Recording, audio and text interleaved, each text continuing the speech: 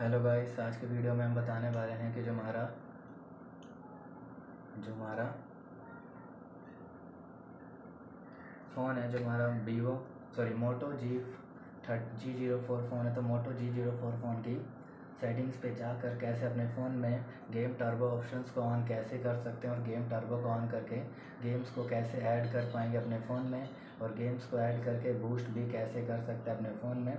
तो आज हम बताने वाले कि गेम्स को बूस्ट कैसे कर सकते हैं और कैसे गेम्स को ऐड कर सकते हैं Moto G zero four phone में तो बताने वाले हैं।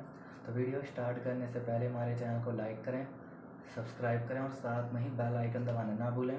तो वीडियो स्टार्ट कर लेते हैं। तो आप देख सकते हैं कि आइकन शो हो रहे हैं। तो आपको स्वाइप करना है। स्वाइप करते ही ऑल आइकन ओपन फिर आपके पास ऑप्शन आता है। सेटिंग्स पे और क्लिक करते ही सेटिंग से ओपन हो जाएगी, जिसमें आप गेम टर्बो का यूज़ कर सकते हैं और गेम स्पेस का भी यूज़ कर सकते हैं अपने फ़ोन में। सॉरी लिखते हैं कि आपको बैक करना है। बैक करते ही गेम बूस्टर से आपके फ़ोन में आ जाएगा।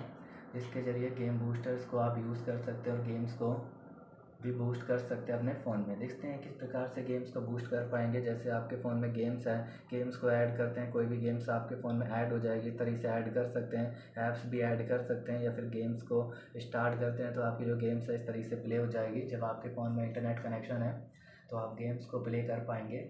और गेम्स को बूस्ट भी कर सकते हैं यहाँ से। और इंटरनेट कनेक्शन आपके फ़ोन में आ रहा होगा तो।